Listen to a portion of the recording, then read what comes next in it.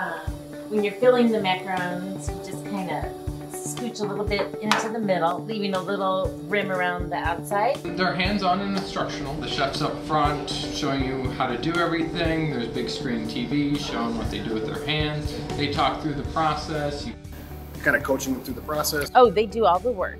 They're doing everything themselves. So I show them how to use a scale, and then I show them exactly what the meringue needs to look like as we go through the process, and you have to learn how to pipe. So there's a lot going on.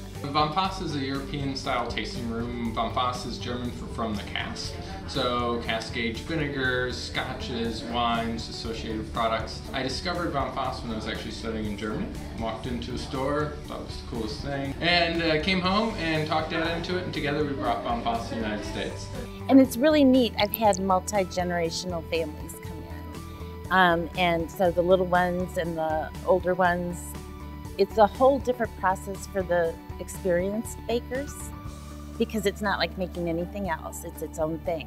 So everyone's learning at the same level, and I think that's a really neat way of bringing people together.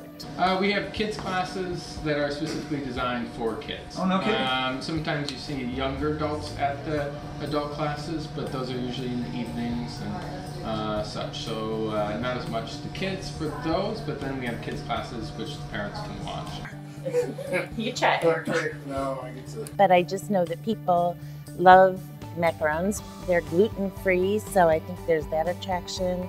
They're circles of joy, you know, they're just little colorful things that make people really happy, and so they, they're just intrigued. How would you like to do a thousand of those? I hope I would do the whole faster.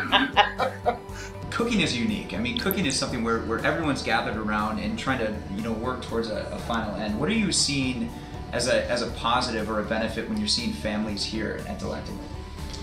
The interaction time, just the, the connection, the doing something together, um, catching up, uh, talking, um, sharing experiences together. Thank you for watching. We strive to bring you the very best family law content, stories from our communities, and insights into building a healthy and strong family. Please leave your comments below and tell us what you think about what we're sharing.